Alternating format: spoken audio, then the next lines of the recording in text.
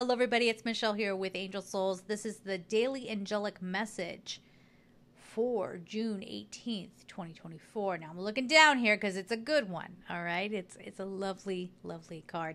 And it is Nine of Raphael, Make a Wish, Dreams Become Reality, a joyful time of life. There's a big breakthrough going on here. If you go back and watch the weekly, I get into that a little a bit more in depth. So, uh, something's healing with the divine masculine uh, that could be out in the world as well. But definitely, this is a time to not make a shallow wish. You know, I preach about that all the time because we'll miss the point. If we're just focused on, you know, surface level things, uh, wishing for more wishes kind of thing, because, you know, that's greedy and we just want to keep making the most of it.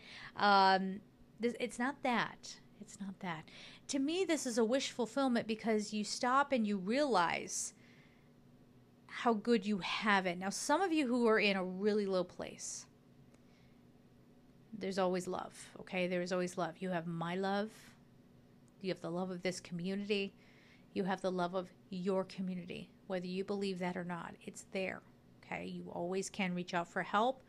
People really do care. I promise you. Now, there's a lot of a-holes out there too trust and belief, okay?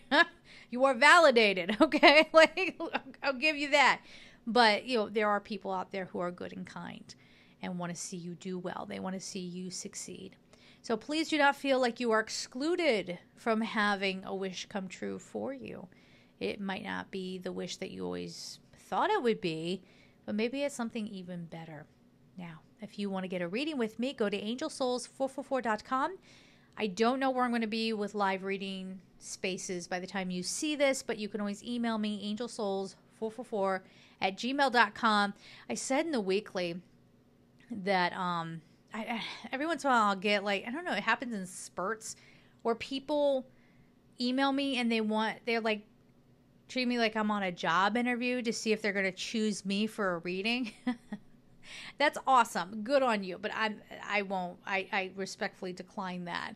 Um, thank you. But yeah, I won't be answering those emails and asking like job.